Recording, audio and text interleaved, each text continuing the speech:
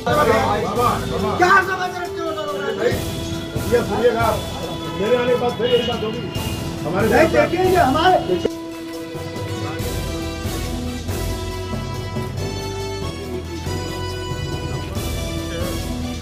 ये crime branch की team के द्वारा एक बड़ा वर्क किया गया है जिसमें एक अभियान चल रहा था अवैध शराब के निष्कर्षण और उसके खिलाफ जो कार्रवाई चल रही थी।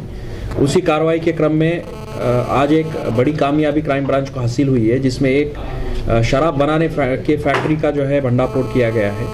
कुल छः अभियुक्तों को गिरफ़्तार किया गया है। अभी भी दो अभियुक्त जो है फरार चल रहे हैं, उनकी तलाश पुलिस कर रही है।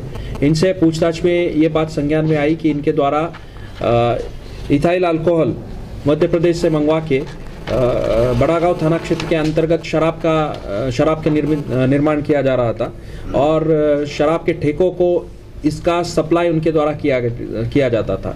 लगभग 17-18 ठेके हमने इस तरह से चिन्हित किए हैं, जहाँ पे ये सप्लाई होता था। अब इन सभी ठेकों के निरस्तीकरण की भी कार्रवाई शीघ्र ही हम लोग अमल में लाएँगे। इसमें जो बरामदगी हुई है, वो 10 पेटी शराब, देशी शराब बरामद हुई है। और 50 बोतल अंग्रेज़ी शराब बरामद हुई है। इसके अलावा केमिकल जो बनाने वाला होता है, रैपर्स, कुछ बारकोड्स जो होते हैं, वो भी इसमें बरामद हुए हैं। और एक बड़ी सफलता पुलिस को हासिल हासिल हुई है। इसमें से कुछ लोगों का आपराधिक इतिहास भी है पूर्व का। सोनू सेठ के खिलाफ लगभग तीन मुकदमे विभिन्न थानों पर पंजीकृत है और शिवशंकर और बाबू सेठ के खिलाफ आठ मुकदमे विभिन्न थानों पर पंजीकृत है।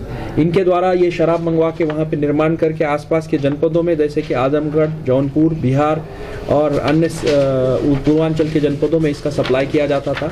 पुलिस के लिए एक बड़ी कामयाबी प्राप्त हुई है और शीघ्र हाल ही में जो अभियान चल चल रहा था उसके क्रम में भी ये एक इम्पोर्टेंट उपलब्धि है। सर क्या ये ग्रुप बनाकर करते थे? किस प्रकार से ये?